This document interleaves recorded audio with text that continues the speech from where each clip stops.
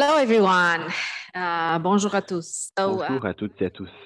Je voudrais inviter euh, les intervenants euh, de notre deuxième table ronde à me joindre. Nous avons Col- Corinne Collignon, euh, chef de service à la mission de santé numérique à la Haute Autorité de Santé, Michel Dumonté, euh, professeur de sciences et données à l'Université de Maastricht, Marc Julien, PDG à Debaloop. Ensuite, Nancy Miller-Rich qui nous rejoint en ligne. Nancy, êtes-vous là? Nancy est-elle à, à l'écran? Nancy Miller-Rich qui est présidente de Biotheryx et également directeur euh,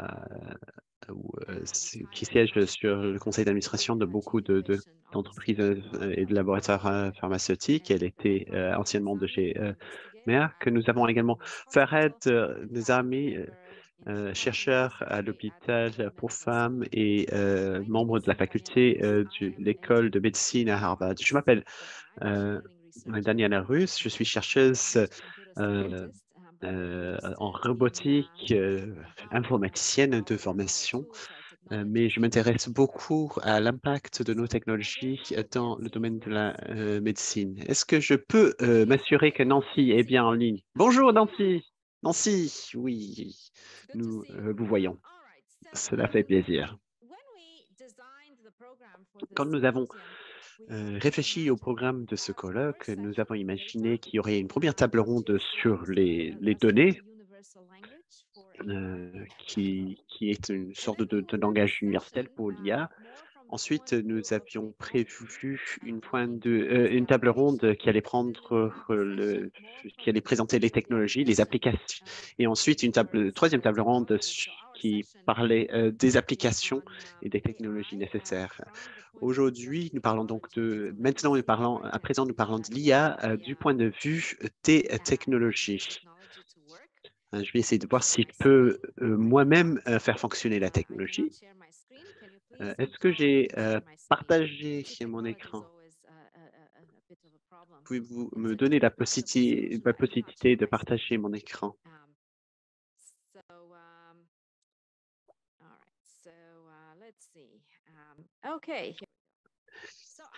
Voici donc quelques images que je voulais vous montrer. On dit souvent qu'une image vaut mille mots. Quand je, réfléchis à l'IA et le médecine, je vois beaucoup euh, d'opportunités qui sont euh, possibles grâce à trois domaines euh, qui sont en interaction, nous permettant de mieux diagnostiquer et, de, traiter la maladie. Il y a tout d'abord la robotique, euh, l'intelligence artificielle, deuxièmement, qui donne aux machines la possibilité de raisonner, et ensuite l'apprentissage automatique qui, euh, qui peut permettre aux machines d'apprendre, de s'améliorer et de faire des prédictions. Quand on parle de l'IA, on, on- on parle en général de l'ensemble de ces trois domaines. Je crois que ensemble, ces trois euh, domaines de recherche peuvent faire beaucoup de choses. Je vais vous donner un exemple très rapide. Dans cet exemple, les chercheurs à Harvard avaient un ensemble de données euh, consistant en euh, des images de cellules lymphatiques. Ils ont donné des images à des êtres humains et à un système d'apprentissage au- au- automatique. Les êtres humains avaient euh, un pourcentage de 3,5 d'erreurs, euh, l'IA avait 7,5% d'erreurs, mais l'IA couplée à l'humain a amélioré euh, l'exactitude des analyses de 80% pour arriver à un taux d'erreur de 0,5 Cela est un résultat que je trouve enthousiasmant et je trouve qu'on peut adopter des outils issus de l'IA pour mettre le pouvoir entre les mains des médecins. Je voudrais qu'on réfléchisse à ce que nous faisons dans la création d'outils qui peuvent aider les médecins avec leurs tâches cognitives et physiques. Ce, ce ne sont pas du tout des outils qui vont remplacer le travail du médecin. Sont des outils qui sont aujourd'hui déployés dans les centres de traitement les plus avancés dans le monde. Mais imaginons un avenir où chacun aurait accès à ces outils et grâce à l'IA et à l'apprentissage automatique, euh, chaque médecin, même en état de surcharge euh, ou qui n'a pas le temps de, s'intéresser aux derniers essais cliniques ou peut-être des médecins dans des euh, régions rurales qui n'ont pas la possibilité d'utiliser l'IA, il peut utiliser ces outils pour proposer aux patients des traitements les plus avancés et les plus pertinents. C'est ce, cette vision de l'avenir qui m'inspire pour arriver à, cet avenir rêvé, il faut réfléchir aux outils, ce qu'ils sont et ce qu'ils ne sont pas capables de faire. Je voudrais commencer en observant que les solutions IA aujourd'hui euh, euh, sont construites sur euh, des solutions qui existent depuis des décennies, des outils informatiques. Un premier défi euh, pour chacun de nous, c'est de trouver de nouvelles idées et d'inventer de, nouvelles euh, solutions. Puisque euh, ces outils nécessitent des données et de l'informatique, il faut réfléchir aux infrastructures informatiques et les données nécessaires afin de faire fonctionner ces outils. Si nous avions les bonnes infrastructures, pour faire fonctionner les outils, encore des défis resteraient tout d'abord, il y a une question de disponibilité des, données. Je ne vais pas trop insister euh, sur cette question parce que la table ronde qui nous a précédé a parlé euh, des euh, données. Les modèles ont besoin de, recevoir, d'être alimentés de, de, très grands ensembles de données. Il y a une question de qualité des données. S'il y a des dans les données, de mauvaises données donnent une mauvaise euh, performance. Comment peut-on euh, certifier, vérifier que les données injectées dans nos systèmes sont de bonne qualité? Un autre défi euh, consiste dans le fait que les modèles utilisés sont absolument énormes. Ils sont constitués de, centaines de, milliers de collections neuronales. Ces modèles donnent des résultats intéressants, mais ils sont un peu comme des boîtes noires parce qu'on a la difficulté à savoir comment ils arrivent à, prendre leurs décisions. Et c'est problématique dans des applications qui sont critiques pour la sécurité et la santé des patients. Les systèmes ne sont pas très robustes, ils sont assez fragiles dans leur fonctionnement. Il est également important de comprendre quand nous parlons de l'IA et des réseaux neuronaux profonds que euh, le traitement des données n'est pas profond. Il s'agit euh, d'une mise en correspondance de, différents modèles. Il n'y a pas vraiment une analyse sémantique. Je pourrais euh, traduire ce que je dis aujourd'hui en, français et, d'un point de vue lexique, ce serait une traduction parfaite, mais le système qui fait la traduction ne comprend pas ce que je dis.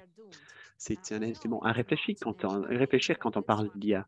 Est-ce que cela veut dire que tout est à jeter? Non, bien évidemment que non. C'est pour cela que nous nous, réunissons euh, comme aujourd'hui pour savoir quelles sont les bonnes questions à poser et comment euh, nous pouvons euh, collaborer ensemble, les chercheurs technologiques, les, les praticiens, les, les politiques, pour vraiment avancer. Il y a néanmoins certaines solutions qui pourraient être technologiques. Je voudrais vous en donner quelques exemples pour vous montrer combien nous euh, réussissons à, faire des progrès. Tout d'abord, concernant euh, les biais, un exemple très visuel. Il est bien connu que les systèmes euh, d'intelligence artificielle ont de la difficulté à reconnaître les visages. Ils ont du mal à reconnaître différents, différentes races. On peut donc analyser les structures latentes qui sont présentes dans les données. On peut établir les types qui sont surreprésentés et ceux qui sont sous-représentés. On peut rajouter de nouveaux échantillons afin d'arriver à un ensemble de données plus représentatives. Voilà une solution technologique qui peut gérer la question du biais. Une autre solution technologique, on a parlé de la confidentialité des données. C'est une question très importante dont il faut se préoccuper. Je voudrais vous donner un exemple est issu de nos recherches. Imaginons que vous avez une base de données. Il s'agit ici euh, d'une base de données sur les cancers du sein euh, au Wisconsin. On avait envie euh, de, de, classer un nouveau tumeur sans qu'il y ait de fuite de données. Une solution traditionnelle serait de passer par un classement aux voisins plus proches dans ce cas-là, on a euh, une requête et on se, pose la question de savoir euh, s'il y a un ensemble de données ou l'autre ensemble de données qui est plus proche. Et, on se dit, le type cas qui est le plus proche, le voisin le plus proche, doit être le type de, de tumeur. Cette solution comporterait euh, des problèmes de confidentialité. Mais il y a une autre manière de résoudre le problème. On peut euh, utiliser une approche euh, qui s'appelle le, chiffrage homomorphique. cela passe par un calcul qui ne nécessite pas le chiffrement. Il s'agit d'un nouveau domaine, le chiffrage homomorphique. Il y a un certain nombre de, de limitations. Il n'y a pas de division qui est possible s'il y a de types de données qui sont chiffrées. Mais on peut euh, néanmoins permettre un, apprentissage automatique par cluster. Aussi un autre exemple d'une idée technologique qui permet de faire euh, avancer euh, le sujet. ce dernier exemple concerne la certification euh, ou les contrôles euh, de type audit. Euh, j'ai un exemple qui vient non pas de la médecine, mais de la conduite autonome, des véhicules autonomes. On voit ici un véhicule, on voit la carte d'attention du véhicule en voit à gauche et en haut, on voit le, le flux d'images issu de la caméra. Donc, la carte d'attention en bas à gauche, on voit où dans le système le, le, le le système d'apprentissage automatique est focalisé pour que euh, pour savoir euh, euh, la décision qui est à prendre. La décision est prise par les, le réseau de neurones dans cette boîte colorée au milieu. il est impossible de, faire une corrélation entre les différentes lumières colorées dans la boîte et les actions sur les véhicules. Ce système a le bon comportement, mais on ne sait pas pourquoi. Si on regarde la carte d'attention, euh, c'est un peu n'importe quoi.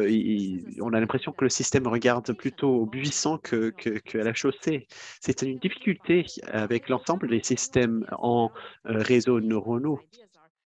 Il y a différentes idées pour résoudre ce problème, mais euh, je ne peux pas rentrer dans tout le détail. Mais voilà une autre manière de, de prévoir le câblage, entre guillemets, du système. On voit euh, que le système est en train de regarder les bords de la route, un peu comme nous quand nous conduisons, et le réseau ne consiste qu'en 19 euh, nœuds. Euh, à partir de ces 19 nœuds, on peut comprendre comment le système prend ses décisions. Ce sont ce type d'idées qui ont besoin d'être avancées et adoptées dans des domaines qui sont critiques pour la sécurité, comme la médecine et comme euh, la conduite. Je suis donc très enthousiaste du potentiel de ces technologies. Je suis très euh, enthousiaste par rapport à cette discussion avec mes euh, collègues dans cette table ronde qui vont parler des défis pour l'IA et la manière dont on peut euh, gérer ces problématiques euh, grâce à la technologie et par des politiques publiques. Nous avons cinq intervenants euh, lors de cette table ronde. nous allons commencer par Michel Dumontier, qui est professeur distingué à l'Université de Maastricht. Ensuite, il y aura Corinne Collignon, qui vient de la santé l'autorité de santé française. Ensuite, il y aura Fahad Nezarmé de l'école de médecine de Harvard. Ensuite, Julien, un PDG de Diable Loop. Et ensuite, nous allons entendre parler Nancy Millerich, qui est présidente de Bioterix. Après euh, la présentation par chaque euh, intervenant euh, de la problématique, nous allons parler entre nous et ensuite on ouvrira la parole pour que vous puissiez nous poser des questions. Si vous êtes d'accord avec moi, nous allons commencer. Michel, c'est à vous. Je pense que les diapositives vont être gérées par euh, la régie technique.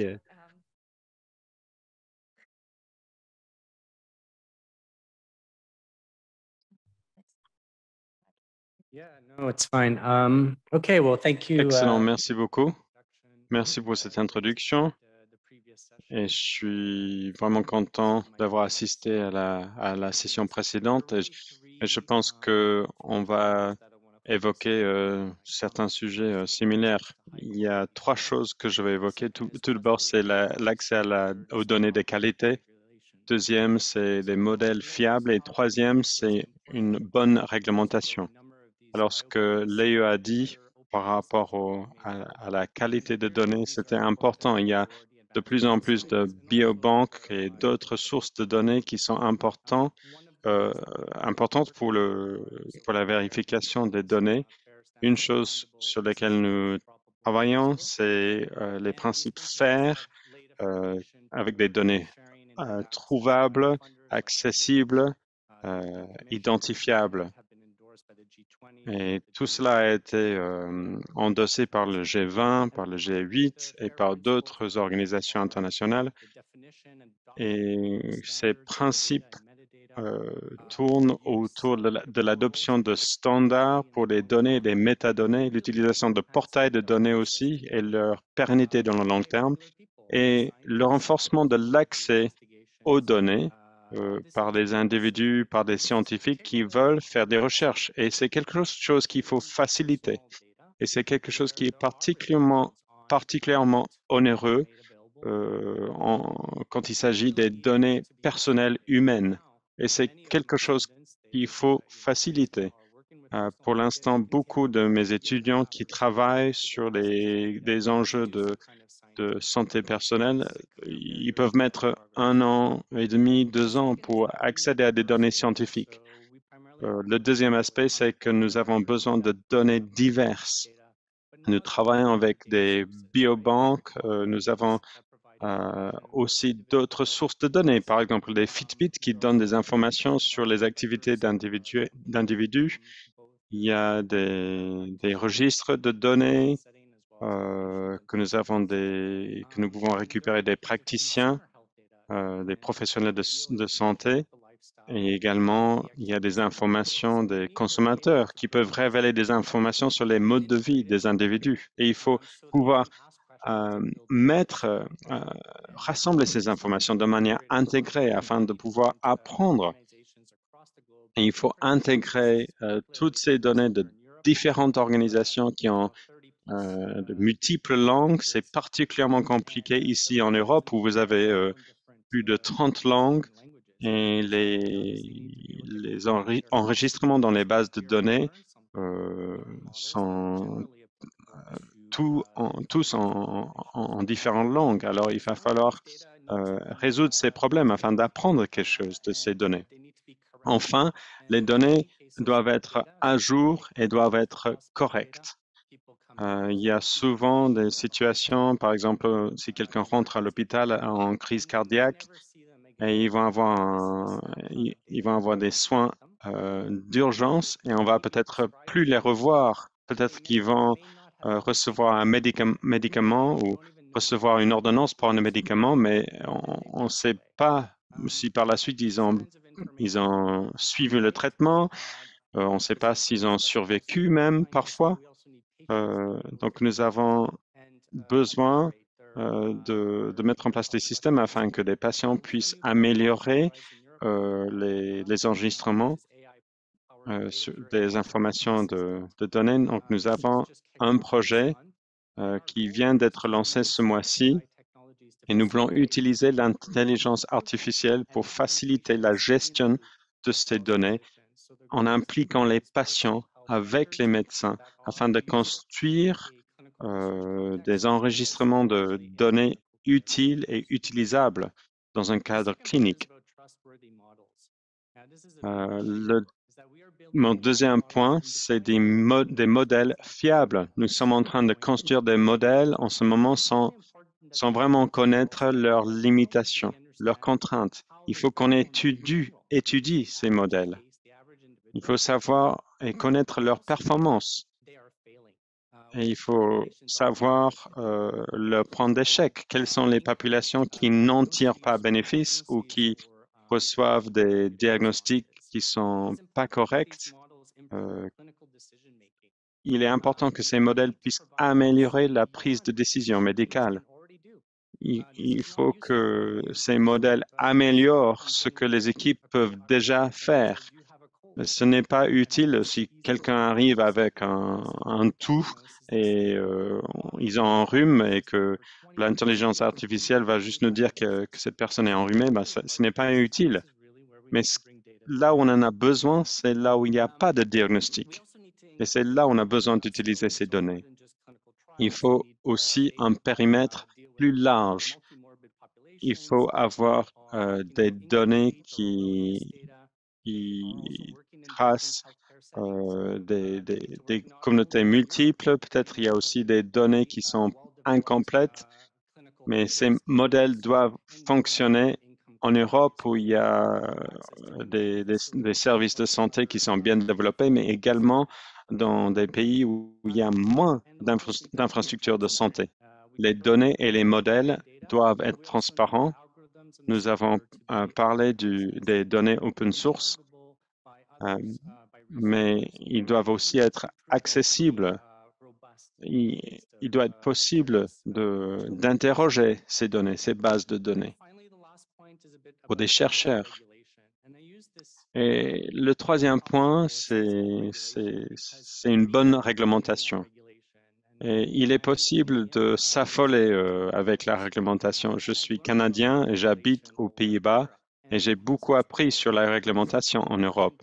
Bien sûr, la réglementation a un rôle important, mais il est important que ce soit qu'elle soit équilibrée, qu'elle garde en vue les objectifs et les responsabilités de ceux qui, gèrent euh, ces données.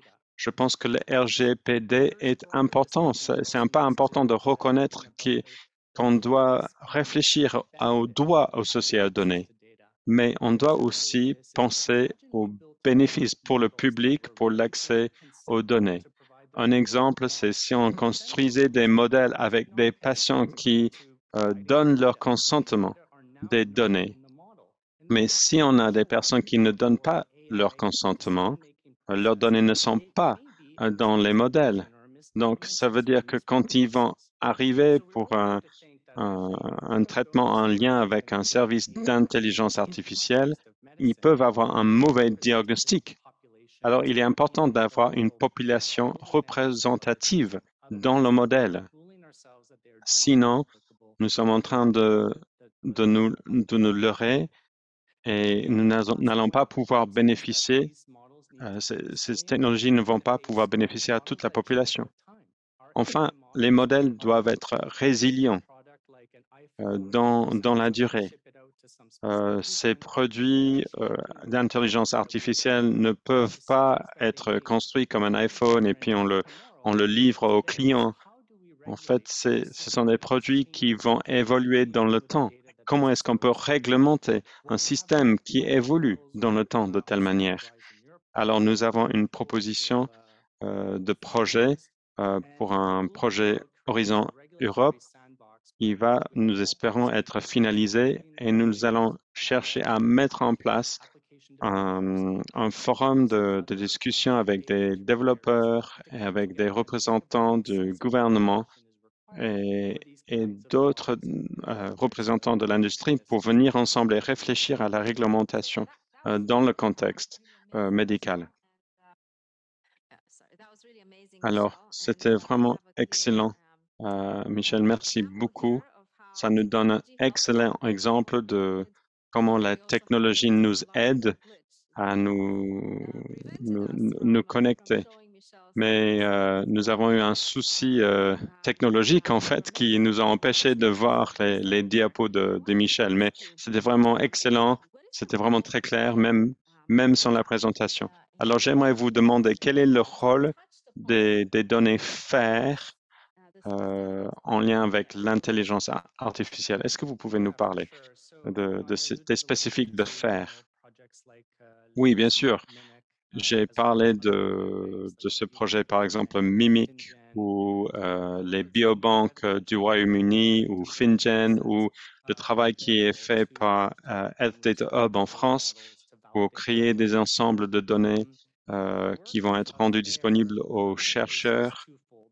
Le, travail de faire, c'est de rendre disponibles les données aux autres. C'est l'un des objectifs principaux. Mais le deuxième obje- objectif, c'est de s'assurer que le- les données sont réutilisables. Et c'est souvent pas le cas. Donc, je vois souvent des cim- cimetières de données. On a mis beaucoup d'efforts pour mettre en place euh, des données et ils les mettent sur un portail, mais on ne sait jamais s'ils sont utilisés, si ces données sont utilisées et, si, si si elles sont réutilisées. Mais nous avons cette responsabilité d'utiliser un maximum de données euh, représentatives de partout dans le monde. Alors, l'appel de faire, c'est vraiment de demander à chaque pays de réfléchir à comment ils vont pouvoir fournir des données représentatives de leur population afin qu'on puisse les utiliser de manière précise euh, dans leur population, quand nous allons construire des systèmes d'intelligence artificielle. Et afin que également ces, ces pays puissent avoir une confiance, la confiance d'utiliser ces outils. Donc c'est incroyable vraiment d'avoir comme un, des standards universels que tous les pays vont adopter afin de pouvoir utiliser des données partout dans le monde. Oui, euh, c'est un grand défi. La, la- combiner des ensembles de données, c'est vraiment euh, compliqué. C'est facile de construire des, des modèles en utilisant euh, des, des systèmes uniques, mais dès qu'on veut combiner des ensembles de données, ça devient plus compliqué. Le I au faire représente l'interopéra- l'interopérabilité. Et c'est vraiment important, ça exige beaucoup d'efforts afin de rendre cela possible. Il est important que nous puissions suivre ces standards, ces normes, afin de réduire l'effort pour les chercheurs, pour les innovateurs, quand ils vont utiliser ces données. C'est super, mais je, suppose que je réfléchis à la, Convention de Vienne, par exemple, qui a été mise en place euh, pour les, les règles de, conduite, euh, les, conduites de la route. Peut-être qu'on peut peut-être euh, créer ce genre de convention euh, internationale. Donc, euh, j'espère que nous avons la présentation maintenant de Corinne et je vais partager le, la présentation de Corinne. Merci beaucoup euh, pour l'occasion de partager avec vous sur euh, la haute autorité euh, de la santé en France. Nous sommes impliqués non pas dans le développement de la technologie d'intelligence artificielle, mais dans l'évaluation de cette technologie. Nous cherchons à soutenir le ministère dans, dans la prise de décision sur le re- remboursement euh, autour de, ces technologies. Et beaucoup de nos décisions vont être de plus en plus basées euh, sur l'intelligence artificielle. Notre objectif euh, global, c'est de faciliter l'intégration des technologies numériques pertinentes dans euh, les pratiques professionnelles. Bien sûr, nous avons plusieurs missions et ne- je ne peux pas tout dire euh, pendant dans, dans les quelques minutes qui, me restent, mais j'aimerais insister sur l'importance de l'intelligence artificielle euh, pour plusieurs domaines thérapeutiques. Il est important pour nous de pouvoir euh, renforcer la confiance des, des utilisateurs au niveau des- de l'intelligence artificielle. Donc, on a déjà beaucoup parlé des données, donc je ne vais pas y insister, mais je vais plutôt me concentrer sur ce que nous sommes en train de faire pour renforcer la confiance et créer un cadre de confiance. Dans nos processus d'évaluation, nous croyons que c'est important d'ouvrir la boîte noire. Et il est important qu'une entreprise partage des informations avec des utilisateurs afin d'accélérer euh, l'appropriation de ces technologies. C'est pour cela qu'il y a quelques années, nous avons mis en place un cadre spécifique euh, pour les technologies qui intègrent l'intelligence artificielle euh, afin de nous permettre de comprendre euh, ce que représente l'intelligence artificielle quand un- une entreprise va nous envoyer un dossier. Nous avons quatre sections dans ce, cadre qui nous permettent d'avoir des informations sur les données utilisées pour l'apprentissage, pour la validation, pour la performance également et la résilience de ces technologies. Il y a plusieurs éléments et ce sont quelques exemples ici des points clés et des informations clés que nous ciblons.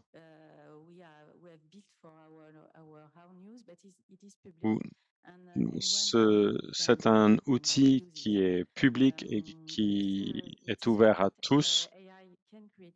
L'intelligence artificielle peut générer des craintes chez les utilisateurs, que ce soit des patients ou des professionnels. Et tout ce que nous pouvons faire pour renforcer la confiance va être utile. Mais très franchement, nous- restons très humbles parce que notre périmètre d'évaluation est vraiment euh, très petit par rapport à euh, l'énormité des différentes technologies. Actuellement, nous évaluons des technologies utilisées par des patients. Il est impossible d'évalu- d'évaluer le bénéfice et la pertinence de toutes les technologies qui intègrent l'intelligence artificielle. Et nous ne cherchons pas à évaluer chaque technologie parce que nous devons euh, accélérer leur introduction plutôt que de, de, de ralentir euh, le processus. Alors, nous avons eu dernièrement un nouveau, nouveau projet pour les dis- dispositifs médicaux qui sont actuellement en dehors de notre périmètre. Nous voulons créer un cadre de confiance pour ces dispositifs, pour l'utilisation des professionnels. Euh, beaucoup de ces dispositifs euh, sont basés sur l'intelligence artificielle. C'est un nouveau euh, plan de travail, un nouveau programme de travail que nous avons mis en place et nous impliquons, nous voulons impliquer plusieurs acteurs. Euh, je, je- j'espère pouvoir en parler plus d'ici quelques mois.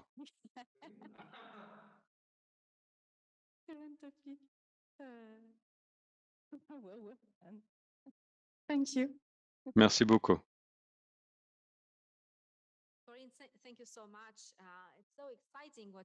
Merci, Corinne. C'est vraiment euh, excellent ce que vous êtes en train de, mettre en place. Mais est-ce que vous, pouvez nous, ex- nous expliquer pourquoi ce n'est pas important de mettre en place une évaluation systémique des bénéfices des logiciels d'intelligence artificielle? Euh, C'est surtout en lien avec le volume de la technologie et la vitesse du marché. Il n'est pas raisonnable de penser qu'on va pouvoir euh, évaluer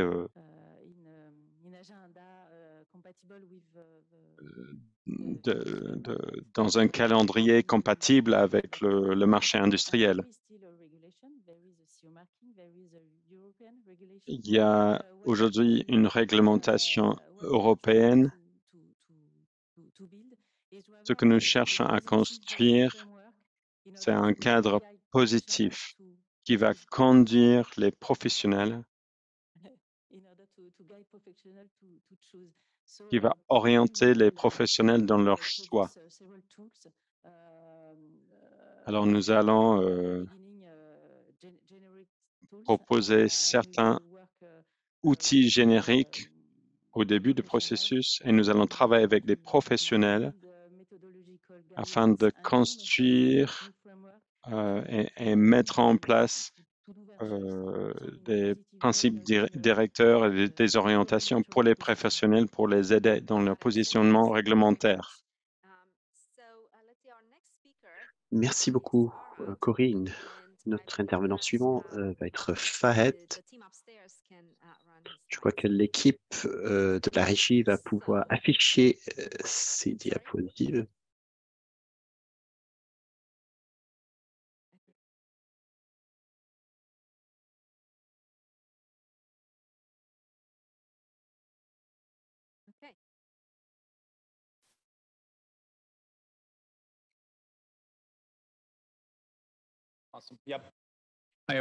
Um, Bonjour à tous. Ce que je souhaite euh, présenter, c'est un autre point de vue euh, qui est peut-être moins connu. Est-ce que nous avons des ingénieurs euh, de la mécanique ici, en génie mécanique. Non? Non, des ingénieurs en génie mécanique? Je vais parler de cela aujourd'hui et je suis le seul aujourd'hui. Je pourrais donc parler du génie mécanique. Je ne parle pas de l'informatique aujourd'hui. Et dans le secteur du dispositif médical, nous ne prenons pas suffisamment en compte dans les procédures précliniques ce qui doit être fait avant euh, les mauvais résultats. Et on revient euh, aux ingénieurs euh, du génie mécanique pour savoir ce qui s'est mal passé. Et souvent, il s'agit de problèmes mécaniques. Je vais essayer de voir si j'arrive à, faire avancer mes diapositives. Ce serait peut-être plus facile que je partage moi-même mon écran. Je, peux, je pourrais faire cela.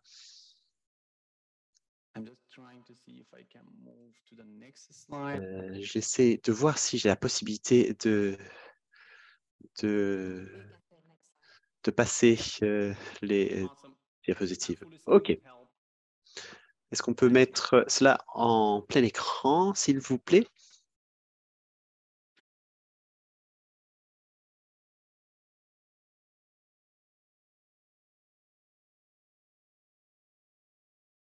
We will move on. Probably the videos will not will not show if you don't go to the full screen. Euh, je pense qu'on aura du mal à euh, lire les vidéos si on n'est pas en mode plein écran. Si vous me permettez euh, le partage d'écran, je pourrais peut-être gérer mes diapositives plus facilement.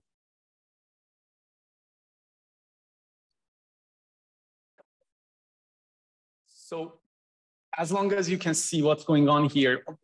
Je ne sais pas si vous arrivez à voir ce qui, est affiché à l'écran.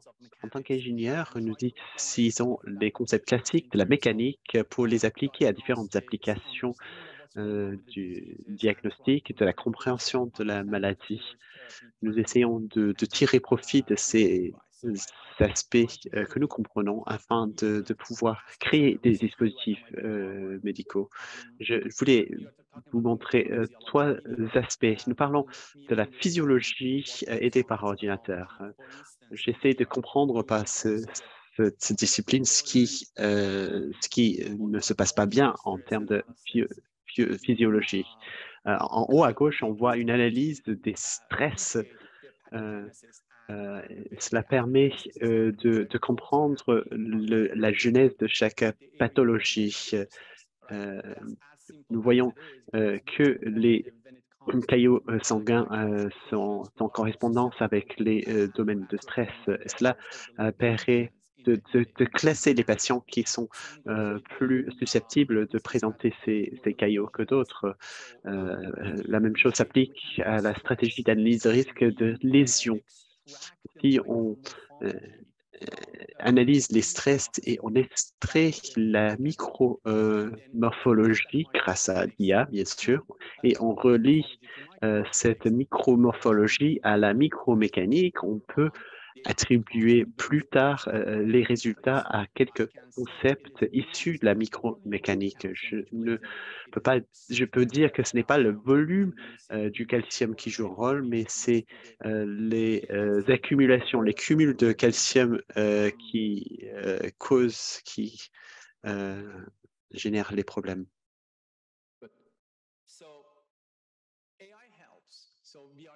Euh, L'IA joue un rôle très utile. Nous, faisons une extraction d'informations euh, qui coûterait euh, très cher si on devait le faire manuellement. Si on essaie d'analyser les différents compartiments de la lésion coronaire avec l'interaction du calcium et des lipides, c'est beaucoup plus rapide si on le fait avec un apprentissage automatique.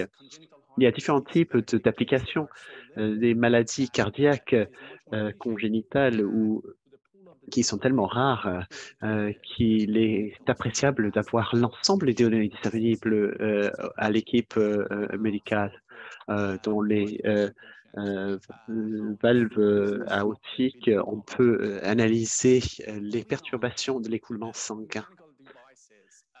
Quand il s'agit de dispositifs euh, mécaniques et des implants euh, dans les vaisseaux sanguins, euh, il s'agit d'une application de la modélisation mécanique. Nous voyons ici des représentations qui viennent de l'analyse mécanique. Même le fait de livrer les médicaments à certains endroits du corps du patient euh, la chirurgie prosthétique, euh, la chirurgie vasculaire, la chirurgie euh, cardiaque. Il y a également des systèmes de support mécanique. Nous sommes en train de parler de cœur artificiel parce qu'il y a tellement peu de greffes qui sont disponibles. On commence à réfléchir à des euh, des euh, dispositifs qui, qui, étaient utilisés en attendant euh, une chirurgie. On commence à penser qu'ils peuvent utiliser à plus long terme, mais nous ne connaissons pas bien les interactions entre le dispositif physique et la biologie. Étant donné la complexité des problèmes, euh, c'est pour cela que nous utilisons euh, l'intelligence artificielle. Euh, c'est ici que je me vois dans ces, blocs opérateurs. Aujourd'hui, je, porte la cravate, mais en général, je suis entre les deux chirurgiens. je propose aux chirurgiens les outils que je construise par le génie mécanique et j'espère que ces outils peuvent être utilisés dans les laboratoires et dans les plans de prise en charge des patients afin de permettre un meilleur euh, diagnostic, une meilleure stratification des risques, de meilleures approches à la planification de, des euh, opérations chirurgicales et une meilleure euh, décision, un choix des dispositifs à utiliser dans la médecine clinique. Merci Farid. Les dispositifs que vous avez présentés sont tout à fait extraordinaires. C'est presque magique d'imaginer euh, ces euh, petits dispositifs robotiques qui vont nous permettre euh, de mieux vivre. Je voulais vous demander, on a constaté un intérêt plus important sur les essais in silico des dispositifs médicaux. Bien sûr.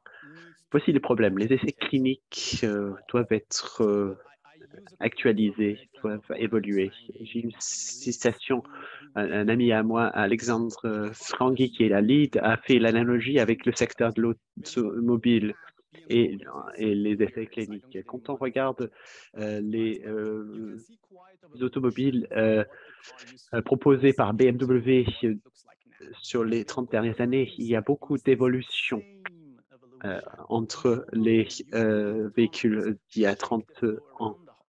Quand on se rend également dans les usines, euh, on, voit également des évolutions. On ne voit plus les euh, les essais par tunnel euh, qui existaient à l'époque. Mais dans les essais cliniques, on utilise les mêmes méthodes pour la sélection des patients et pour la mise en place, on dit, les essais cliniques.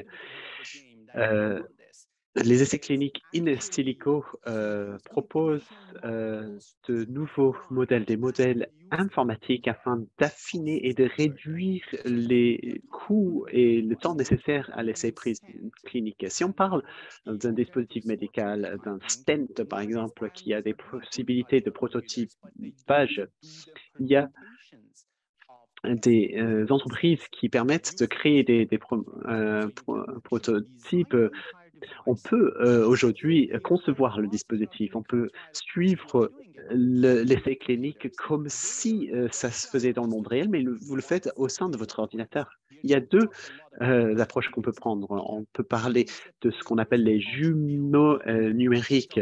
Cela nécessite néanmoins de bâtir un jumeau numérique sur la base d'un essai clinique réel. On doit baser euh, le jumeau numérique sur un, essai réel. Mais il y a une deuxième approche qui permet d'utiliser l'intelligence artificielle et grâce à des méthodes régénératives, on construit une population numérique une population qui n'existe pas dans le monde réel. Et cela ne nécessite pas d'avoir une correspondance parfaite entre les cas euh, que vous euh, imaginez et des patients réels. Et on peut créer des cas hypothétique, euh, cela peut être appréciable. Euh, on peut prévoir euh, une plus grande diversité des sujets étudiés avec moins de biais et vous pouvez réfléchir à des possibilités, des permutations qui pourraient se produire dans des cas réels après la mise sur le marché du dispositif, mais qui pouvaient peut-être ne pas exister dans l'essai clinique. Merci Farhat. Nous avons encore deux intervenants à écouter pour prendre en compte leur point de vue. Et ensuite, nous allons débattre le sujet entre nous. Fahad, est-ce que vous avez la possibilité de partager la présentation de Marc Nous accueillons Marc Julien qui vient de, de. Bonjour à toutes et à tous, je m'appelle Marc Julien, je suis PDG, co-PDG de Diabloop.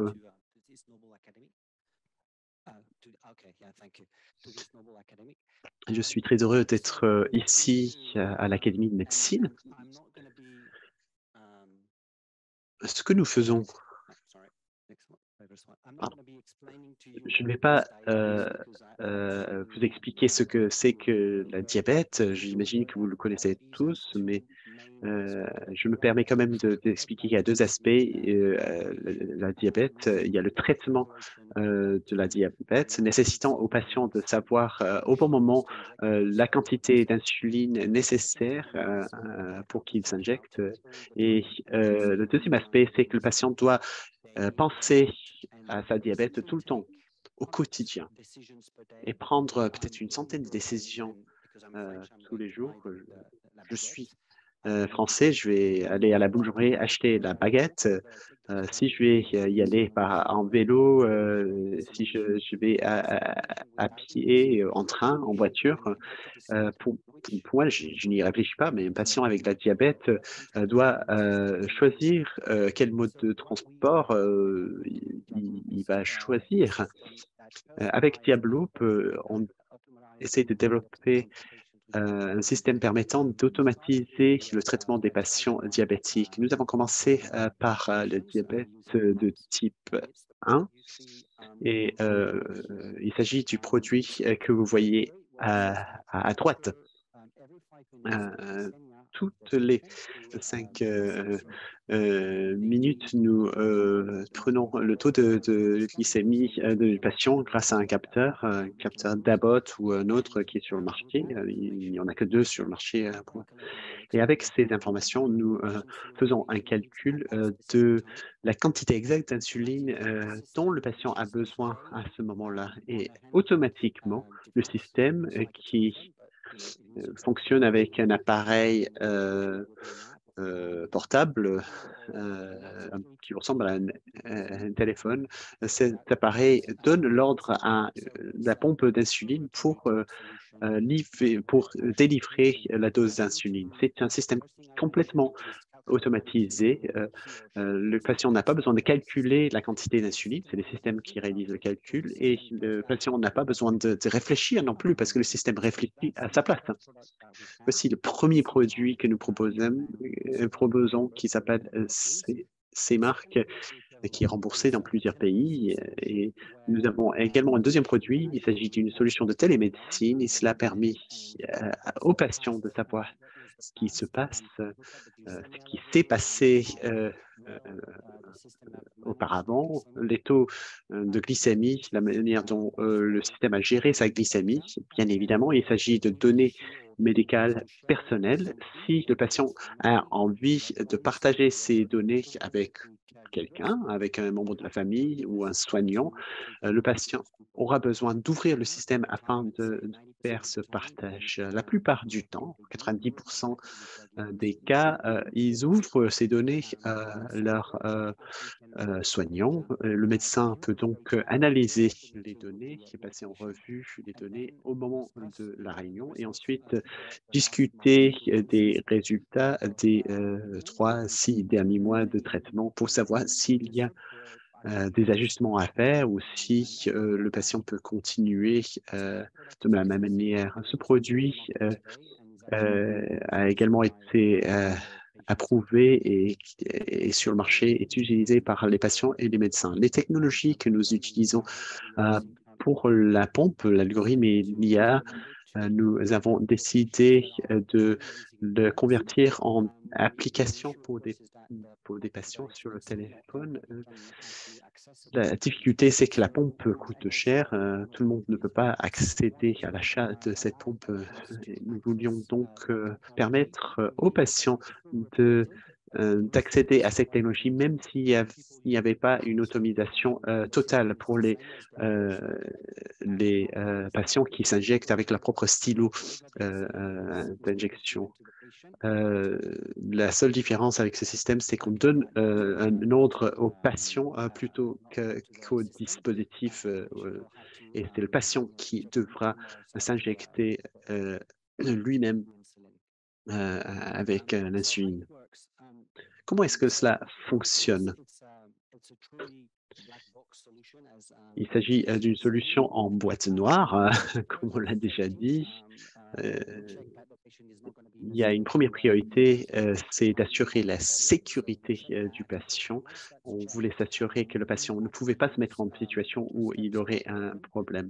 Une fois que nous l'avons vérifié, nous euh, avons utilisé deux étapes d'algorithme pour nous assurer qu'il n'y avait pas d'erreur. Les algorithmes peuvent faire des erreurs, mais nous l'empêchons avec un système de supervision breveté. Le système apprend euh, du euh, patient. Ce ne sont pas l'algorithme, ce n'est pas l'algorithme qui apprend, mais c'est des paramètres qui, euh, qui sont stockés dans le dispositif. Nous analysons ces données, nous les analysons pour savoir si les paramètres doivent être ajustés afin que la réponse peut être personnalisée. Vous pouvez imaginer, par exemple, pour les femmes, qu'il y a euh, le cycle euh, mensuel qui doit, être, qui doit être pris en compte et euh, le système est capable de s'ajuster à ce cycle. Nous avons des modèles et des simulateurs dans nos laboratoires qui euh, sont utilisés pour euh, tester nos algorithmes. Nous euh, testons non seulement l'algorithme, mais également les extrêmes pour éviter de mettre en péril le, patient. Comment, quelle réussite avons-nous connue Nous avons connu pas mal de succès. Le produit a été lancé en 2021 nous avons aujourd'hui plus de 10 500 patients qui utilisent ce système euh, dans sept pays européens. Nous euh, euh, avons un taux d'arrêt de moins d'un pour cent de la part de nos patients qui utilisent le produit. En ce qui concerne les les euh, résultats. Nous avons fait une étude avec plus de 4000 patients. Nous avons présenté ces résultats à un congrès euh, en diabétologie. Euh, nous avons confirmé les résultats qui étaient euh, qui était obtenu avec les essais cliniques et, nous euh, avons confirmé ces résultats et nous sommes à trois fois moins de la norme attendue. Merci beaucoup de m'avoir écouté et je vais euh, répondre aux questions s'il y en a plus tard. Merci beaucoup, Marc. Ce dispositif est extraordinaire. C'est remarquable de savoir que vous pouvez utiliser des systèmes IA euh, complexe sur euh, un dispositif de type Edge euh, qui est tellement petit. Quelle est la recette pour la mise sur le marché de ce, dispositif? Très rapidement. Je pense que le secret, c'est qu'en France, nous avons un écosystème qui est unique au monde. J'ai tendance à, appeler ça le génie français. nous avons la capacité de rassembler les meilleurs médecins euh, des centres technologiques euh, comme le CEA avec lequel nous avons un partenariat et nous avons également le soutien euh, des administrations et des financements publics. Et encore une fois, je voudrais euh, euh, remercier l'autorité de la santé nationale en France pour leur assistance. En l'espace de cinq ans, nous avons pu développer ce système, nous avons pu le tester, recevoir le marquage CE et recevoir le remboursement de la part des autorités françaises. Euh, la première chose, c'est de rassembler ces trois éléments. Euh, tout d'abord, euh, numéro un, il faut mettre le patient au centre de tout ce que nous faisons. Nous avons des patients qui, depuis le début, qui nous aident à, à, concevoir le système pour s'assurer que le système allait réellement les aider et aider leurs médecins. C'était très important. Le dernier point, c'est euh, que nous avons une organisation qui est très agile. Depuis le début, nous organisons notre euh, entreprise pour être agile. Cela veut dire que à, tout, à chaque fois qu'il faut changer, euh, réorienter, nous adapter aux conditions, euh, changeantes euh, avec l'évolution de, la réglementation, par exemple, les exigences des autorités qui évoluent euh, pour devenir de plus en plus strictes. il, a fallu être très agile. Merci beaucoup, Marc. Alors, nous allons maintenant avoir notre intervenante en New Jersey, Nancy.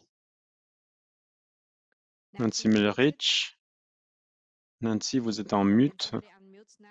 Est-ce qu'on peut ouvrir son micro?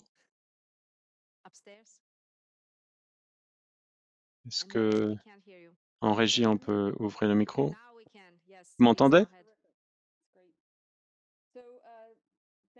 Oui, très bien, merci. Alors, merci beaucoup euh, pour cette opportunité. C'est vraiment un moment intéressant pour notre industrie. J'aurais vraiment souhaité être avec vous aujourd'hui, mais malheureusement, j'ai attrapé la COVID. Donc, c'est certainement mieux aussi pour vous que je reste ici. Alors, je vais euh, partager mon écran avec vous. Alors, ça fait 35 ans que je suis à Sterling Drake Novartis. Je siège également sur des sur les conseils de, sept euh, entreprises de biotech et j'ai dirigé euh, les services de, de, plusieurs grandes opérations, euh, entreprises pharmaceutiques dans le monde. Elles utilisent plus tous l'intelligence artificielle. Et j'aimerais vous expliquer un peu les défis que je vois et puis aussi à la fin les opportunités. Pour l'instant, les entreprises pharmaceutiques euh, ont, des centaines d'années, ils ont acquis euh, des entreprises euh, dans le temps, donc ils ont tous des systèmes séparés et parfois les données ne, ne sont pas interopérables, même dans les mêmes entreprises. Donc on a comme des, des systèmes en silo. On a des divisions en silo et des, des, personnes qui travaillent avec des données euh, dans des, des, de petites bases, bases de données. J'ai dirigé des transformations pour une grande entreprise pharmaceutique et même avoir un accord sur la signification de ce que ça voulait dire, la transition numérique. C'était, c'était, c'était pas évident. Même si on pouvait avoir cela dans une seule division de l'entreprise, c'était pas forcément accueilli par toute euh, l'entreprise pharmaceutique. Donc, il y a aucune entreprise pharmaceutique aujourd'hui euh, qui soit vraiment euh, à l'aise avec la technologie. Donc, j'ai fait le tour des grandes entreprises euh, du big tech comme Amazon, etc., parce que je savais qu'ils ils utilisaient l'intelligence artificielle d'une de, autre manière. Ils étaient en train de, de, de faire du marketing euh, micro-ciblé envers le grand public. Et je voulais voir ce qu'on pourrait euh, apprendre de leur part, mais avoir un alignement, un, accord sur ce que c'est que la transition numérique. Certains pensaient à un site web, d'autres pensaient que c'était peut-être juste une manière de renforcer nos capacités de production. Mais ce que je voulais vraiment voir, et c'est peut-être courir avant de savoir marcher, c'est de, savoir comment est-ce que les systèmes de données peuvent alimenter euh, les systèmes de, production afin que toutes les décisions soient prises à la lumière des données. on voulait également démocratiser euh, les données afin que tous puissent y accéder. J'ai évoqué les silos et c'est vraiment, c'est vraiment une réalité. Quand on a 120 000 employés, on peut comprendre euh, qui est des silos. Donc, on pourrait avoir euh, la, recherche et développement dans un silo, et puis le commerce, le finance dans un autre silo. Et puis, si on multiplie cela par chaque pays du monde et chaque région, on peut voir qu'il y a vraiment ces poches de données qui ne sont pas connectées entre elles. Mais ce qui était intéressant, c'est même si on avait des silos, l'une des entreprises a été infectée euh, par, euh, par un logiciel malveillant et d'un coup, il n'y avait plus de silo. Ça, ce, virus a infecté tout, euh, et même nos clients. Alors la nouvelle technologie, c'est se répandre dans les anciennes technologies. Donc notre technologie était ancienne, euh, virus a, touché tout ce qu'on avait. L'autre euh, problème que j'ai découvert qu'il y avait vraiment un souci autour de la culture, vraiment un énigme. Parce que dans l'industrie pharmaceutique, vous avez des, médecins avec des, des doctorats euh, qui sont vraiment très conservateurs. Euh, il y a une hésitation à prendre des risques. Et c'est la même chose pour l'agence de réglementation, la FDA, aux États-Unis. Mais si on regarde euh, ces entreprises plus innovatrices, ils avaient peut-être des doctorats, mais ils étaient agressifs, euh, ils étaient vraiment prêts à prendre des risques. Et quand on rassemblait Merck et Amazon, c'est comme si on parlait deux langues différentes. Amazon euh, dirait qu'on ne pouvait pas avoir des réunions avec plus de personnes euh, qui, peuvent manger une seule pizza et Merck venait avec 30, 30 personnes. Mais il y a vraiment une, une différence très claire ici. Il, fallait vraiment apprendre à respecter euh, les apports de chacun. Une autre chose que j'ai remarqué, c'est que j'étais responsable du développement d'affaires. Et, euh, je pense qu'on disait que quand on dit non, c'est là où l'innovation commence. Euh, en fait, il y a beaucoup de phases, d'étapes de, où, on, où on rencontre des non dans l'industrie pharmaceutique. Et je pense que dans la recherche et le développement, si la recherche et développement et l'entreprise est alignée, peut, tout peut fonctionner. Mais dans l'industrie pharmaceutique, tout doit être parfait avant euh, la mise au marché. Alors, quand on regardait des programmes d'adhérence des, des, des, patients, ça devait être parfait avant de pouvoir le, le mettre sur le marché. Alors, cela limitait la compréhension de l'utilisabilité de, de, ces techniques. L'autre aspect, aspect, que j'ai remarqué, c'est la confiance euh, du point de vue du patient médecin et puis la validation confiance du point de vue de l'entreprise. Euh, je pense que l'intelligence artificielle, si elle va euh, perturber la relation patient-médecin, ça va être problématique. Mais ce que nous voyons aujourd'hui beaucoup aux États-Unis, c'est que les médecins sont devant l'ordinateur en train de recueillir des informations sans vraiment regarder les patients. Et ça, c'est aussi un problème. L'autre élément en lien avec la validation, c'est que l'industrie pharmaceutique, avant qu'ils euh, investissent euh, de l'argent, ils veulent euh, qu'un produit soit 100% validé, mais ça c'est difficile quand on essaie de faire quelque chose de, de nouveau. Il vous reste une minute, Nancy.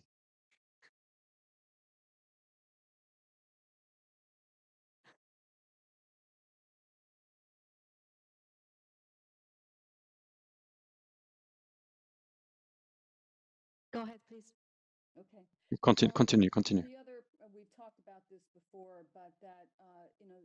Nous avons euh, parlé, nous avons aussi évoqué la boîte noire et cet aspect de la boîte noire avec l'intelligence artificielle, c'est que peut, pour nos médicaments, nous n'avons pas, nous ne connaissons pas le mécanisme de fonctionnement même de nos médicaments. Mais je pense que c'est quelque chose qui impacte sur euh, le, la confiance au niveau de, l'industrie pharmaceutique.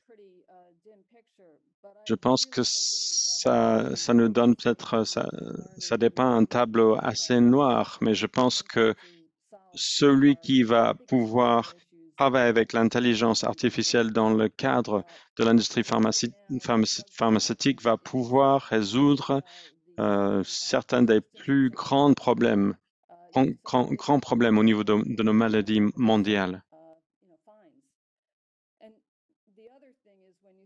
L'autre chose, c'est quand on dit qu'il y a 10 000 maladies et 500 médicaments, ben, en, plus, je crois qu'il y a plus encore de maladies euh, parce que nous traitons le cancer des poumons euh, comme une seule maladie, mais en, réali en, réalité, il y a plusieurs euh, types euh, de, de cancer. Alors aujourd'hui, les outils que nous avons sont vraiment pas adéquats à la tâche. Ils ne peuvent pas rentrer dans le profil de la mutation spécifique pour chaque patient. Et puis le, parcours de développement des médicaments est vraiment euh, complexe en même temps il faut avoir euh, en place des librairies de composantes, etc. C'est vraiment très compliqué. Mais ce que, j'ai pu voir, c'est que des, entreprises euh, d'intelligence artificielle ont pu commencer à pr prendre des de petites parties de ces choses-là pour essayer d'avancer. Donc, avec euh, une entreprise euh, pour laquelle je sais sur euh, le conseil, ils ont pu travailler avec des peptides pour identifier la localisation de la maladie dans le corps. En fait, en fait, nous sommes en train de découvrir l'impact à 360 degrés sur tous les organes dans le corps. Et puis, quand on va donner un médicament, on peut voir l'impact du médicament également sur cette maladie. Pour le moment, nous avons une compréhension assez limitée de, cette maladie rare, mais avec de plus en plus d'informations, plus de plus de données, nous pouvons utiliser l'intelligence artificielle pour comprendre le, pronostic pour euh, des patients euh, dans ces cas particuliers. Donc, si, euh, si on accepte le chiffre que j'ai donné, ça veut dire qu'on peut traiter 5 des maladies euh, avec euh, l'apprentissage automatique, on va pouvoir atteindre un niveau euh, auquel on ne peut pas accéder aujourd'hui. Une entreprise qui s'appelle 1063 D63, c'est 10 au 60, au 10 puissance 63. Donc, nous sommes en train de travailler sur une maladie qui n'est pas sensible aux médicaments. Et puis, nous faisons une analyse de 10 puissance 63 pour trouver le médicament qui pourrait, euh, qui pourrait s'accrocher à cette structure de cristal afin d'analyser sa mutation avec euh, ce, produit chimique. Donc j'ai beaucoup d'espoir pour l'avenir, bien sûr. Personne n'a encore euh, vraiment euh, compris les secrets, même sur ces, sur ces domaines vraiment très spécifiques, mais plus nous y travaillons, plus nous sommes en train de découvrir. Dans l'entreprise que je viens d'évoquer, 1063, 1063, ils ont pu créer un, médicament pour une maladie cible euh, qui n'avait pas de traitement et le médicament qu'ils ont, qu'ils ont pu développer est, est, beaucoup, beaucoup mieux que tout ce qui a été proposé jusqu'ici. Alors, ce n'est pas encore parfait, mais on a vraiment une optimisation du, optimisation du, processus. Donc, j'ai beaucoup d'espoir pour l'avenir. Merci beaucoup. Merci, Nancy. J'étais vraiment euh, content d'avoir toute cette multitude d'avis qui sont là. Nous avons le, le, monde des affaires, nous avons l'ingénierie, nous avons euh, la technique, les aspects techniques de l'intelligence artificielle. Pour poser ma première question aux panélistes, j'aimerais connaître votre avis sur cette question suivante. La technologie de l'intelligence artificielle avance tellement rapidement et la réglementation avance très lentement. Comment est-ce qu'on peut avoir des produits sûrs sans tuer l'innovation? Michel.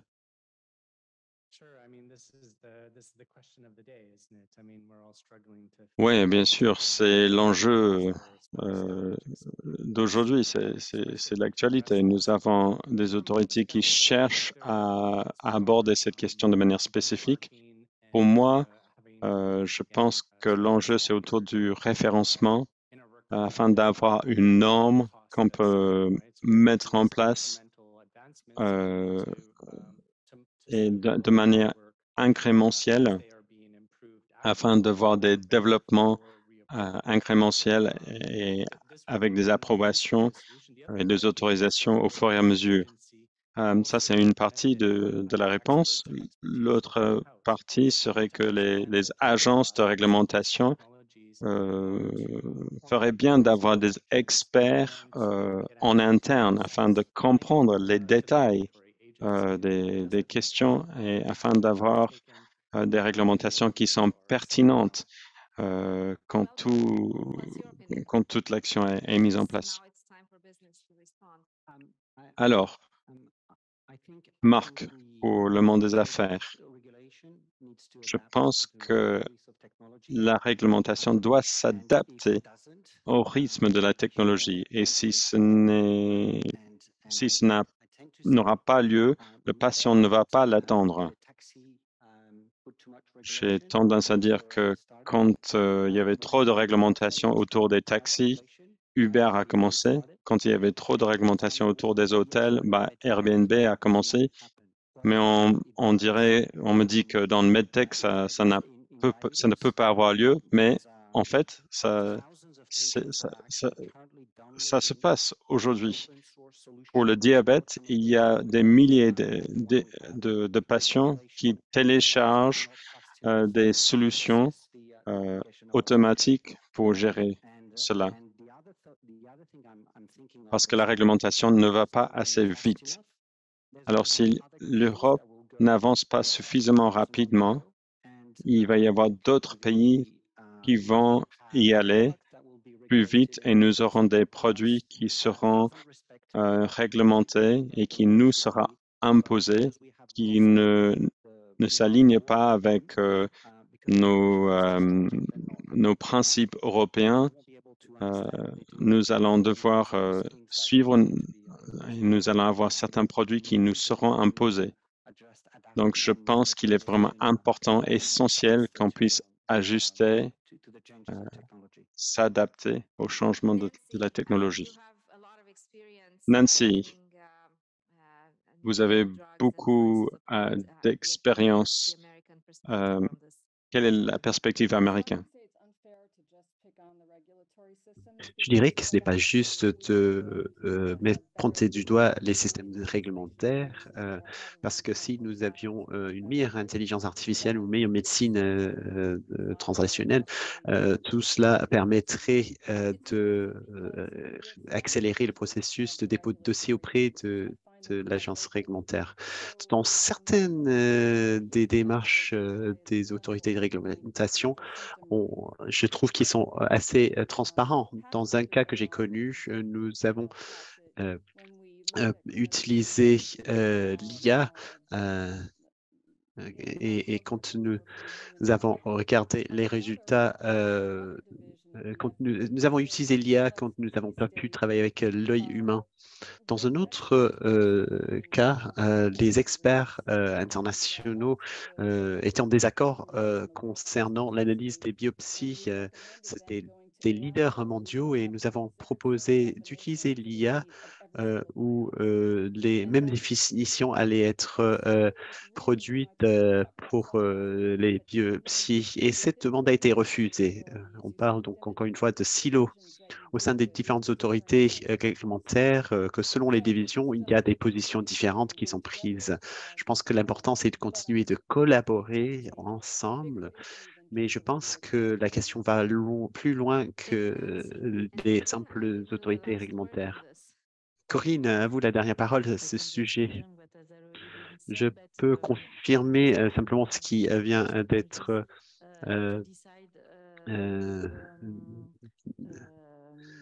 d'être dit par rapport aux premières données qui sont disponibles au moment de la mise sur le marché d'un produit. à ce moment-là, le dispositif reçoit le marquage CE euh, et on peut ensuite demander des jalons euh, afin que le- l'entreprise euh, puisse démontrer le maintien de sa performance. Nous pouvons également demander des données euh, issues du monde réel afin d'avoir des réponses concernant la pertinence d'une technologie et sa pertinence, sa performance dans le temps. Ces jalons doivent constituer l'une des réponses afin de gérer cette question de, de, de l'accélération de la technologie.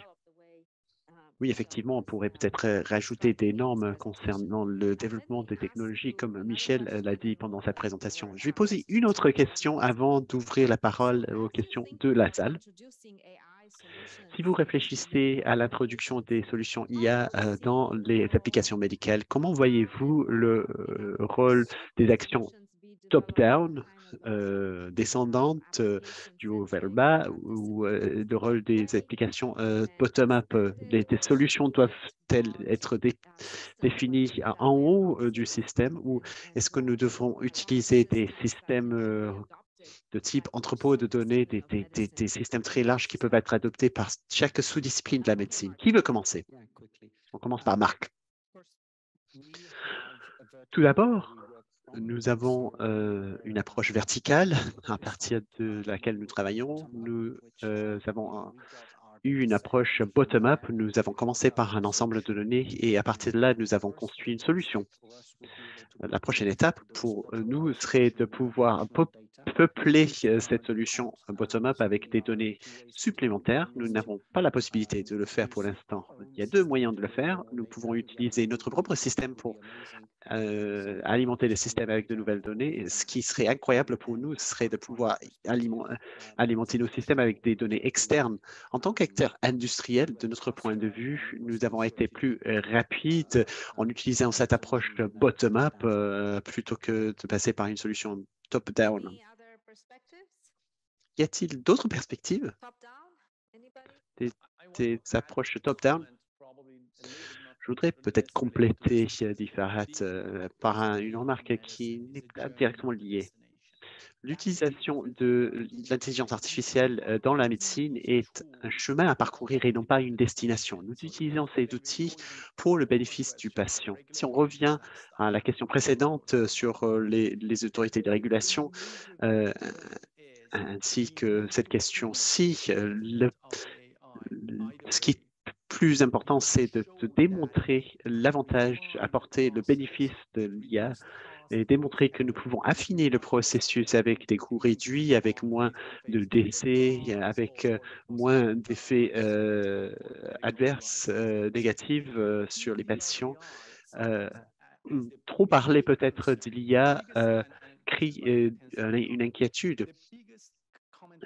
une remarque rapide la, la, plus grande crainte de, de, de, de l'utilisation de l'IA pour les dispositifs, c'est la non-validation de ces dispositifs.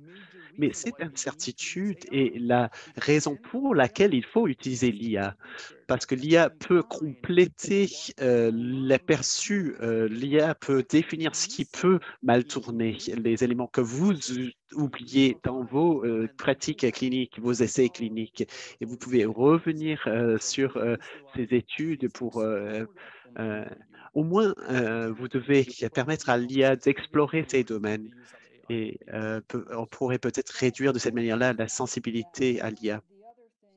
Je voudrais rajouter à cela, euh, Nancy, euh, que euh, typiquement, que, les données qui connaissent un succès sont publiées, les, euh, données euh, qui conduisent à des échecs, beaucoup moins.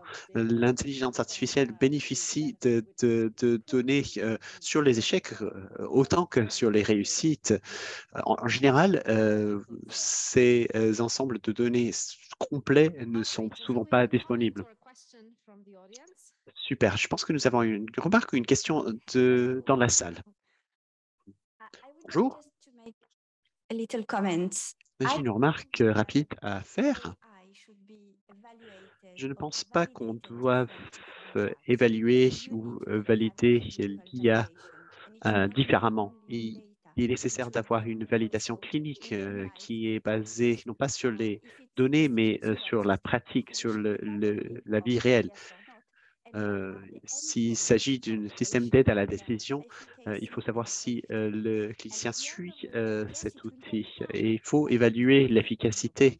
Et en fin de compte, cela va prendre du temps, comme pour le développement de médicaments, mais il est important que le patient puisse avoir confiance dans la solution d'IA qui va être utilisée par le soignant et qui va être utilisé également par les, les par, partitions. Je ne sais pas si vous connaissez l'exemple de Digger de BIFAM.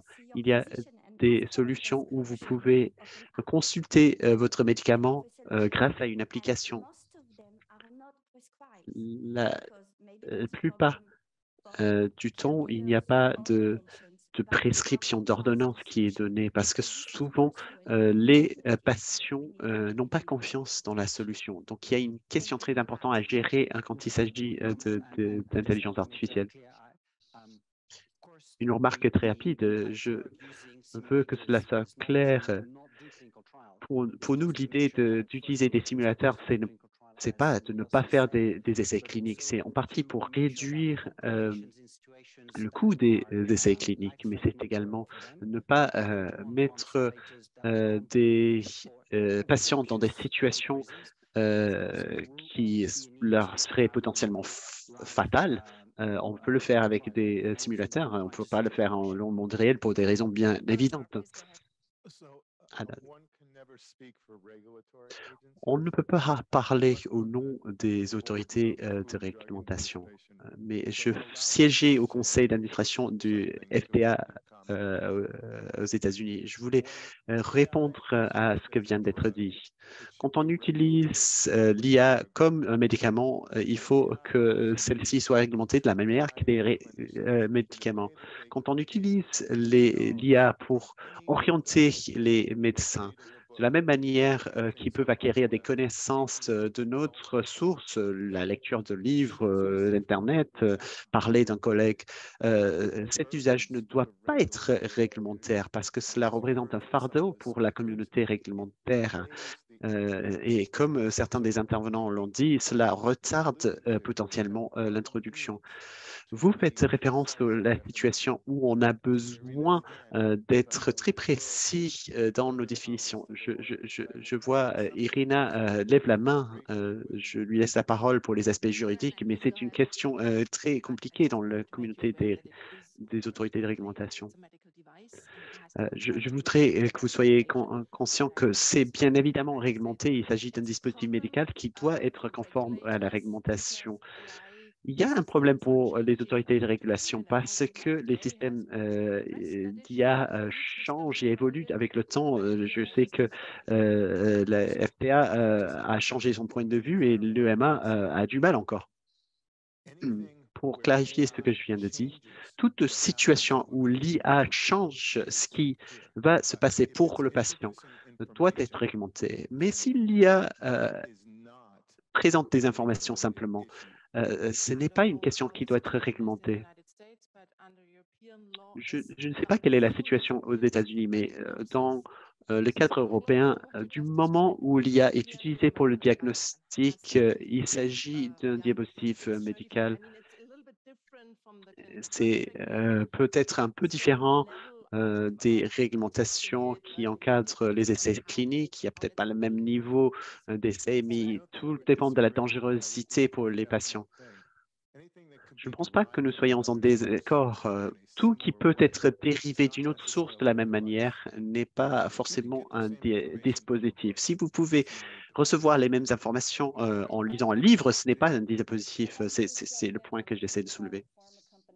Si je peux euh, m'interjecter, euh, je crois que les laboratoires pharmaceutiques euh, disent que si on demande une approbation sur la base de cette validation, nous, cherchons à, recevoir cette, cette, démonstration de cette validation. Mais si on recherche simplement une preuve de concept, il n'y a pas une approbation réglementaire qui est nécessaire. Tout dépend de l'utilisation de la technologie.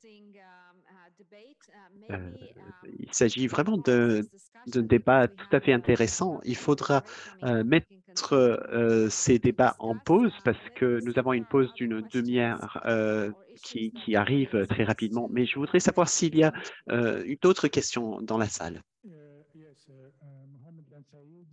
Je m'appelle Mohamed Ben Saïd. Je viens de l'hôpital Necker. Je travaille dans l'informatique euh, médicale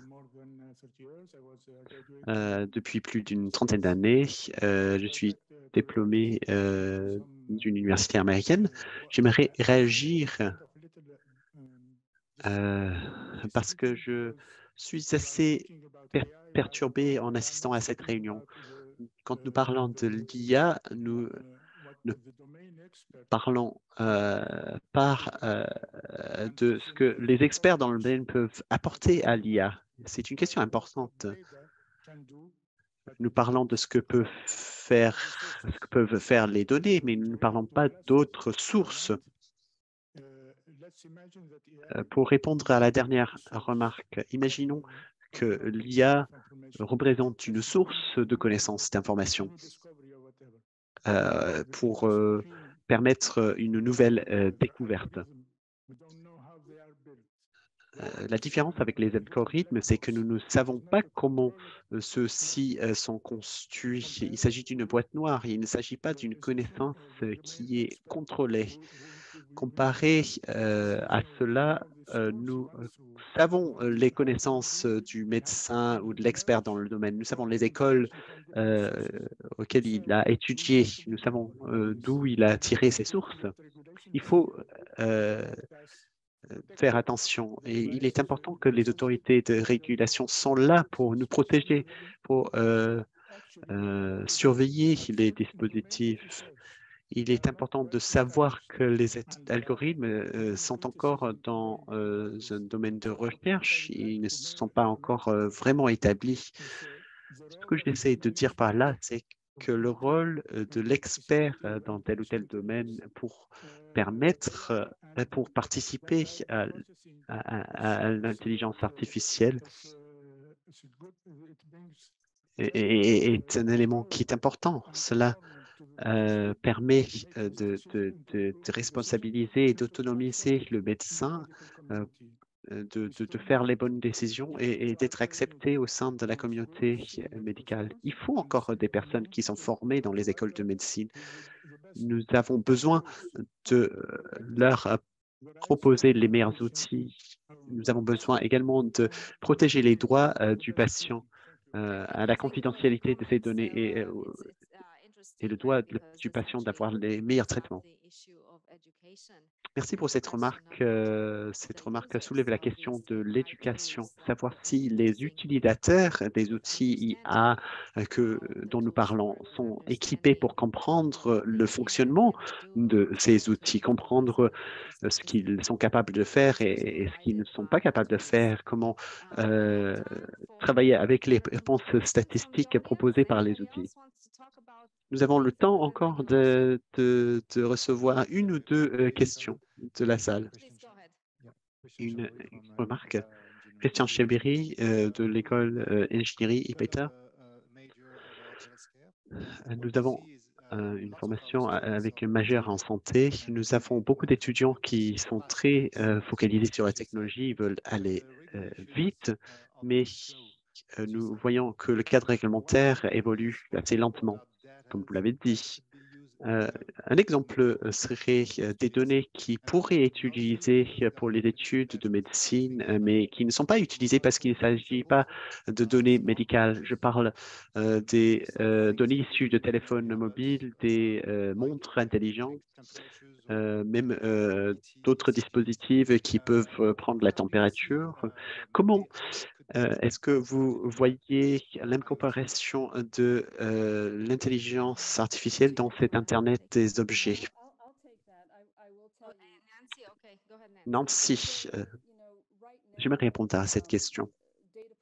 Aujourd'hui, des banques de données sont créées et assemblées afin, par exemple, de comprendre euh, par exemple, aux États-Unis, des algorithmes euh, sont en train d'être écrits pour identifier des personnes euh, atteintes de cancer de poumon qui ne le savent pas encore, avec une certitude de, 95% Alors, comment faire Que faire avec ces, données?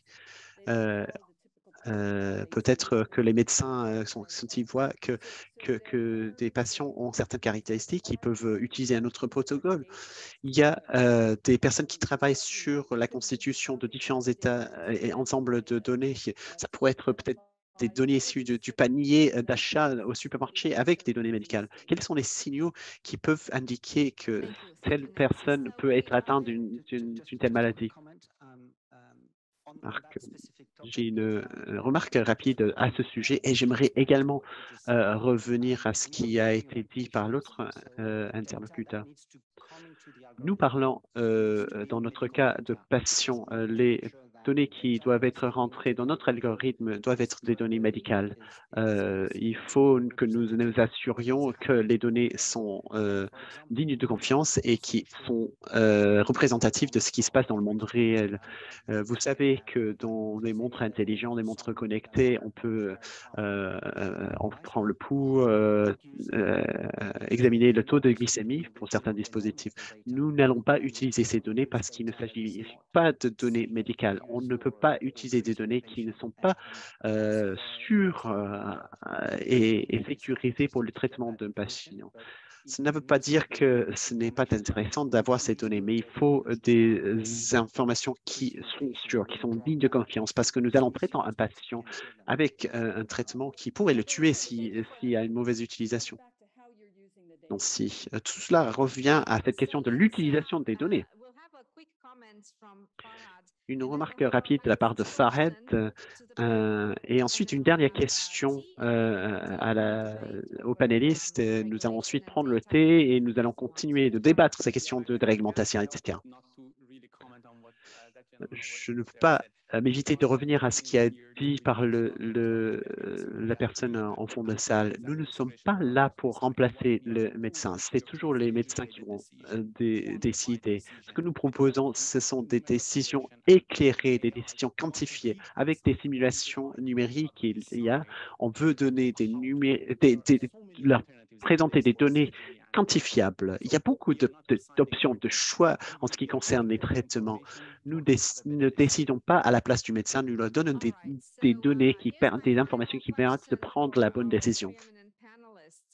Une toute dernière question pour nos panélistes. Imaginons que nous nous trouvions euh, euh, dans l'avenir, dans dix ans, quelles seront les possibilités euh, proposées par l'intelligence artificielle pour les médecins? Ou peut-être plutôt que de donner une prédiction, qu'aimeriez-vous voir à l'avenir? Pour ma part, j'aimerais voir une médecine individualisée où chaque personne peut euh, recevoir un médicament synthétisé euh, selon euh, sa situation physique et son cadre de vie. Il serait chouette de, travailler dans ce sens. J'aimerais également voir des petits robots qui seraient capables de de, mener à bien des chirurgies euh, sans euh, ouvrir le patient. Farid, euh, dans la foulée de ce que vous venez de dire, ce que j'espère voir, c'est que certains de ces outils que nous développons soient adoptés afin que durant l'acte d'imagerie, dans les hôpitaux, on on, prend beaucoup de, prises de vue euh, et on n'utilise que 5% de, de, celles-ci. J'aimerais que ces images puissent être utilisées en temps réel par l'IA pour euh, euh, améliorer les actes chirurgicaux.